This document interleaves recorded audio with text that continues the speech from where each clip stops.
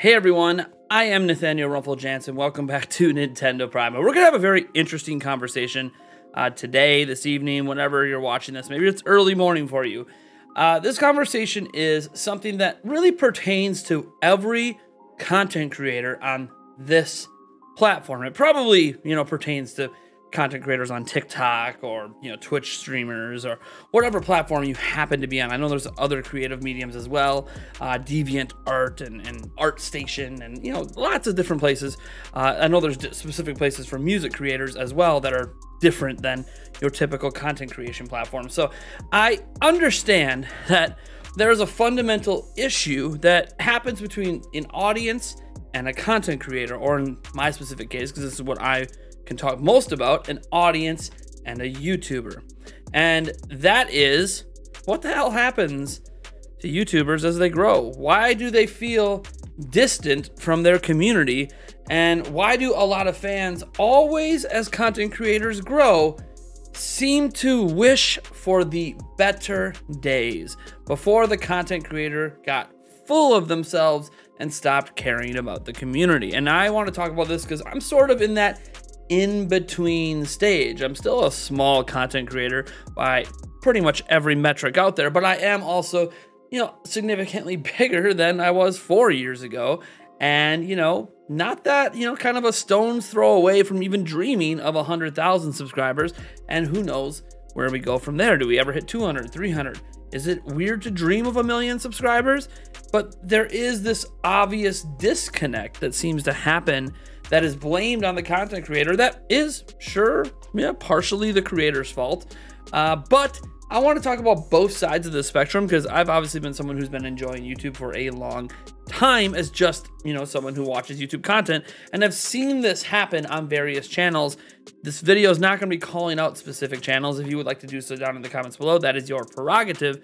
Uh, but before I jump into this, I want to remind you Hey, this is the first time you've ever seen a video at Nintendo Prime. I would appreciate if you would subscribe and like the video, maybe comment down below, help spread the love. Uh, that would be wonderful. Uh, we did just conclude our big giveaway for uh, last month, but we have a new giveaway event happening this summer called Prime Gaming Fest. We'll put more details out on this as we get closer to it. It will be happening in June. Uh, but yeah, you know, hopefully you're subscribed and hitting that bell icon and sticking around for all the updates on that. Now, what am I talking about here? I'm talking about that as a content creator grows, it feels to the watcher, to the viewer, like they are more and more disconnected from their community. It feels to many that the content creator cares less about them. Now, some of this is just a basic psychological connection where there always is a little bit of a disconnect between the content creator who's on camera, on live stream, just talking to people that exist in a chat box. Uh, so there's always going to be a, a, level of disconnect there where sometimes the chat box will greatly associate themselves with a content creator like they're their best friend, whereas the content creator basically doesn't know anything about you. You're a username on a screen. Um, and so that can obviously just uh, be a psychological disconnect in that sense. But but it goes beyond that because it is true that as channels grow here on YouTube, they change. And sometimes as they change, it feels like they're paying less attention to you or less attention to the community, and sometimes become even focused on things like, well, money, because obviously it always sounds great to be a full time YouTuber, and I'm almost there, not quite, but um, it sounds great to be a full time YouTuber, but obviously, once you become one, you do have to care a lot more about the money aspect of things that maybe you dreamed about when you were a smaller creator, uh, but now is a reality. And now this is how you support yourself. Maybe you have children like I do, and you got to support your family. Uh, you know, you got bills to pay and mortgages to take care of and, and car payments and everything in between. And this is not even counting when, hey, you know what? You should take a vacation at some point and try to enjoy part of your life and not just slave away live streaming 10 hours a day, seven days a week. You're eventually going to need to get away from that. And it's hard because part of being in this medium is if you take a break, if you walk away for even just one week, you could end up, you know, losing a huge chunk of your audience because algorithms are at play and they end up, you know, not suggesting your videos or putting out notifications.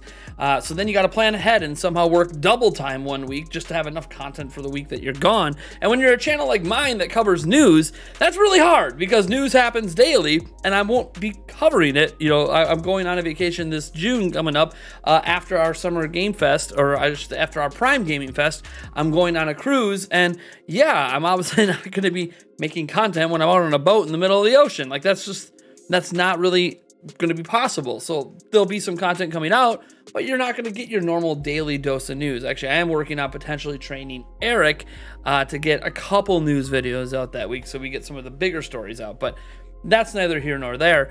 Uh, I think personally that there is multiple things that are happening here. And one of them is if you're talking about a content creator disconnecting you in a live stream setting, um, and, and you know, I hear this sometimes on my streams. I heard this last year when we did our E3 extravaganza. Some of this is because, well, as you grow, there are more people talking. This is true on videos, but also especially true in live streams. To the point that last year during the E3 extravaganza, I had to use slow mode for the first time in channel history because the chat was moving so fast, it was impossible for me to read it, let alone a lot of you guys to read the chat as well. So this is less that the creator's changing, more that the landscape the creator exists in is changing. So as you become more popular, the chat is going to move quicker. And because of that, the content creator is going to be able to read less and less of those messages. And it gets to a point where you're used to the content creator responding to literally everything you say. And it goes from maybe every 10th every 20th, every 30th thing you say, because there's so many people in the chat that creators trying to pay attention to. And sometimes it gets overwhelming. And I can say this because I've had this happen. I've had live streams with over 1,200 people watching live. It can be very overwhelming compared to my typical live stream that I'll do randomly during the week where I'm at 100, 150, sometimes 200 people live. But that's a lot less than, hey, when we have 1,200 heck, that 150, 200 people is a lot more than what we were just getting four years ago when we would have 23, 25 people watching us play Splatoon 2 in 2018. So you can already see that growth is there. And so the chat moves quicker and it feels like you're maybe not getting the same attention from the creator. And this is less the fault of the creator, more just what comes with the territory of growing. Now, I will say there are some things that tend to change as you grow. Uh, where a content creator may have shouted out and paid attention to every single, even $1 super chat or whatever, uh, suddenly they're only paying attention to when they get like a $20 super chat. Um, and that is obviously a personal choice of the creator because you know you can get enough of those smaller donations that you're literally spending the entire stream shouting them out, and that might not be what that content creator wants to do for two, three hours while they're live. Just sit there and shout out super chats all the time. Um, I can say personally for me, my goal is to always make sure every single donation, every single super chat, no matter how small or big, gets the same amount of attention it's always got. But it's also easy for me to say that when I'm not overwhelmed with them. There are times I have been overwhelmed and I love the community support, but it'll feel like for an hour straight I'm doing nothing but celebrating and uh, responding to super chats, and that can obviously lead to, to it feeling like, oh, he only cares about the money, and it's like, no, I've always said if you super chat, your question, your comment jumps to the top of the pile. That's always been the case. That's never changed. I'm just getting more of those super chats. So because I'm getting more of them, it feels like you have to pay to get attention. That's not true. If people would stop paying, I would give just as much attention as I normally do to people in the general chat. And even when we get those super chats, you guys see I'm still trying to read parts of the chat and keep up with the ongoing conversations there. Again, I can't always keep up with it, especially when we got 1,200 people live. I can't always keep up with everything, but I do the best that I can. And I try to make sure that we have moderators in place interacting with the community as well to make sure that it, they don't feel like they're being forgotten just because I'm not getting an opportunity to personally read your comment. Now, Again, that's just part of getting bigger. That's just the reality of the world. And you'll always have people longing for the days when it was only 10 people in the chat room and every single message, you know, what was this big deal that the content creator would spend 10 minutes responding to one comment. Uh, and I get that. And, and unfortunately, that's just something that comes with the territory of a content creator becoming more popular. Now, it is true that some content creators, and I want to clarify this, this isn't every content creator, but some content creators do lose sight of things. And again, I'm not going to call out specific ones, but it can get to the point where the content creator is making content specifically just to make money. They stop reading the comments. They stop doing live streams. They're focused solely on just doing sponsored content. I've actually had some people raise this concern because this year we've already done more um, sponsored ad spots and sponsored content than we've ever done. And some people have said, We're really happy, Nate, that you are getting these sponsorship deals and making a little bit of extra money. But, uh, you know, we're really worried that this is going to cause you to be corrupt. And pretty soon, all you're ever going to make are sponsored content. And no, I, I have some rules of thumb uh, when it comes to, you know, fully sponsored content, like where you're, you know, those 10, 15 minute featured videos that are just about a sponsored product. And that is if I put out a sponsored video that day, that is not going to be my only video that day. It's just a rule I have. That video will not replace my normal content. It'll be an additional piece of content that doesn't replace the normal content. This is because I don't want to lose out on what I'm normally doing just because somebody paid me for a specific video. So because of that, that actually makes more work for myself and I'm okay with that because bro, I got paid for that one video, so why not put in the extra work? I'm not gonna replace what I'm already doing with that video. I'm just gonna, hey, you paid me for my time. I'm gonna create extra time that doesn't take away from my other content to make that video. That's how I do things. Now, Sponsored ads are a little different. If someone buys a 30 second, 60 second, or 90 second, I typically don't go over 90 second ad spots in my standard video. Yeah, that obviously, you know, just goes into my standard videos. And I try to make sure I timestamp everything. So if you want to skip the ad, you can. Um, I know some people work on making the ads super uh, entertaining and funny, and that, and that, makes people want to watch them. Um, you can tell from a lot of mine, I don't tend to do that. I don't tend to have the highest production value as I'm a solo content creator, no one behind the camera, no extra editor. So I'm not going to sit there and spend you know, let's say I have a, a hundred dollar ad spot, I'm not going to sit there and spend, you know, four days putting together an ad. Like that just doesn't make sense to me. Uh, but you know, I will uh, make sure that the video is still focused on the content and that ad spot is just kind of its own thing, sort of inserted, hopefully organically in some way, uh, into it. So that's just a general thing that uh, that I do as a channel. But a lot of other channels I have seen, and again, I'm not going to call out specific ones, a large focus on just companies that pay them money. And though that that that bothers me. And I get what they're doing. They're chasing the bag. They want to have as much money accumulated as possible. They got really popular and obviously, you know, they don't want to ask the community to give them money. They instead of be look, if all these companies are coming at me and they want to give you thousands and thousands and thousands of dollars to make videos about their products, to do giant, elaborate three, four, five minute ad spots in my video, um, yeah, take that money, put it in the bank, and do your thing. And I get what they're doing. Again, care about yourself, your family, taking care of those things first. I understand doing some of those, but some channels do feel like they're just completely overtaken by that type of content. And I would say those are the channels that are losing sight of their community because they forgot what got them there. They forgot the people that supported them and subscribed in the first place. And not only are they not interacting with those people anymore, they actually are just focused solely on the companies that give them money. I'll make a video if you pay me to make a video. And I, I hate that mantra, and it absolutely does exist. And that is where fair criticism comes in about content creators uh, changing as they get bigger and caring less about their community. Another thing I will note, and I've had this told to me by a number of larger content creators, uh, because you'll see me every now and then. If you follow me on Twitter, I'll tweet out a comment that just really bothered me um, and have a, a deeper conversation with some others. And I'll have a number of large creators, I mean, in the dozens, DM me and talk to me privately and tell me, hey, what are you doing still reading the comment section? You are, you know, almost at 80,000 subscribers. You're almost at 100,000 subscribers. You're getting 100 plus, 200 plus, 300 plus comments, sometimes more than that per video. What are you doing reading these comments? The negative ones are always going to stand out. Stop reading the comments. Stop reading it. Stop this. Stop. And I get what they're saying because these are content creators way bigger than me. They get 500 to 1,000 plus comments per video. But it also tells me at some point they stopped reading the comments, they stopped responding to the comments. And that to me is wrong. Um, if you were someone that originally read those comments, now if you need to stop reading them for your own mental health, that's a totally separate conversation. But if you just stopped reading them because you didn't want to bother with it, um, that to me is yes another disconnect with your community because your community is used to you reading their comments dropping likes responding to their comments hearting their comments. They're used to those interactions.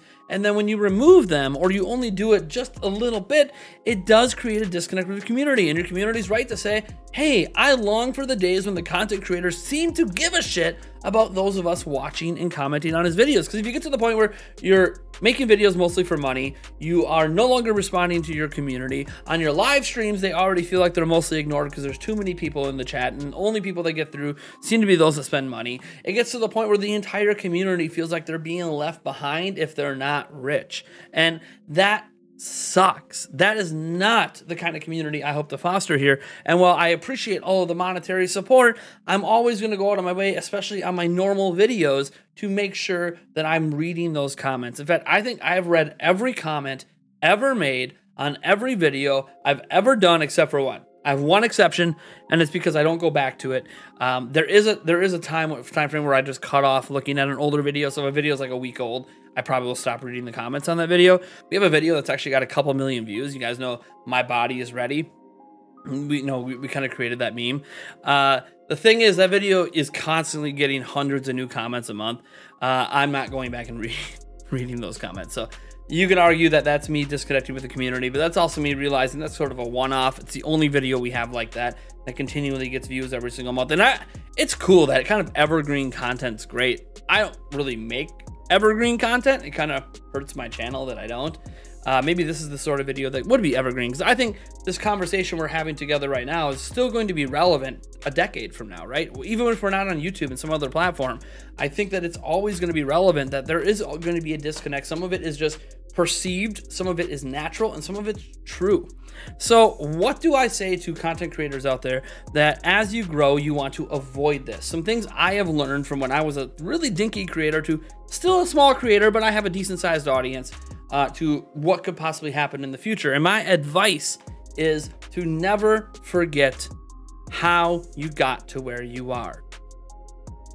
You got there through the support of community. You got there through the very people that come and watch your video every day. And I understand it might get to the point there's too many of them that you'd be wasting your entire day to read every comment and respond to every person. And I get that that day will exist someday if you keep growing. But never forget your roots, right? Don't forget the kind of live streams your audience enjoyed two years ago that maybe you're forgetting to do now. Don't forget the kind of content that you made that you know your community you know still longs for and used to long for an example like pewdiepie forgetting that people used to watch him for his horror streams and stuff like that don't forget about that like that's the number one thing is everything I do is focused on making the same content I already do, but doing it better and doing it better for you. Um, so you get a better product and feel more informed and have a less mumbling Nate where I'm fumbling to put words together and don't know what I'm going to say next.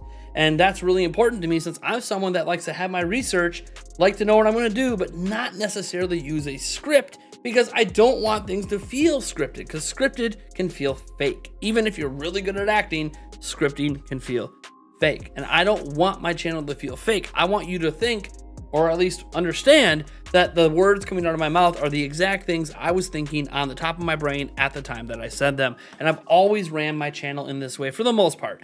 Done a couple editorial ones where I converted some text things I wrote into videos. Uh, that's a little bit of a different kind of video, of course, because I'm just converting what I did in a different medium to YouTube. But uh, that's obviously a special use case. So I don't know. What I obviously want to know though is is I'm a, I've been a YouTuber now for years.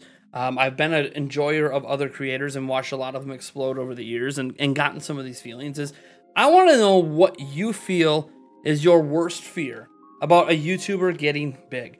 What are you most concerned about? What what concerns you now, even with my channel? Do you feel like I, I'm already disconnecting with my audience? And why do you feel that way? These are things that I'm obviously always going to want to, you know, have this open conversation about and really interact with all of you What are you worried about with my channel? What things do you think I'm, I'm already maybe trending in the direction you don't like? Uh, what things concern you about other channels and other YouTubers? And how can we as a community of content creators and or just watchers of content, enjoyers of consumers of content, um, do to maybe be more understanding of all of the various situations that exist out there.